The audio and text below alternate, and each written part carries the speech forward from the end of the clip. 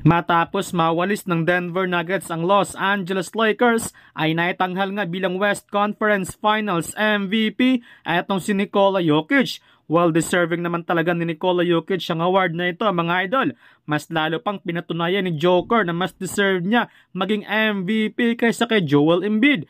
Kung matatandaan ay pinataog nga ng Boston Celtics ang team ni Embiid habang pasok naman sa finals ang Denver Nuggets ni Nikola Jokic. Samantala, maraming ang lumalabas na mga rumors na magre-retiro na daw si Lebron James sa susunod na season. Yes mga idol, galing ang source na ito sa Bleacher Report.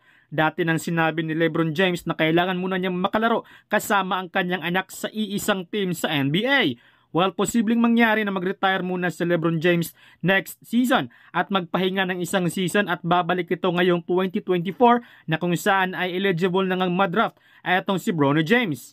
Habang may lumalabas namang rumors na aalis na sa Lakers etong si Lebron James at nilipat ng ibang team pero still, si Lebron pa rin ang magdidesisyon sa kanyang susunod na gagawin. Samantala, tuluyan nang nagretiro ang NBA legend na si Carmelo Anthony. Marami mga NBA players ang napareact sa retirement ni Melo. Ayon sa mga fans na deserve ni Anthony na maisabit ng Denver Nuggets ang kanyang jersey number. Alam naman natin na malaki ang naiambag ni Anthony sa Denver Nuggets noong prime pa lamang nito. Huling naglaro si Anthony last season sa Los Angeles Lakers.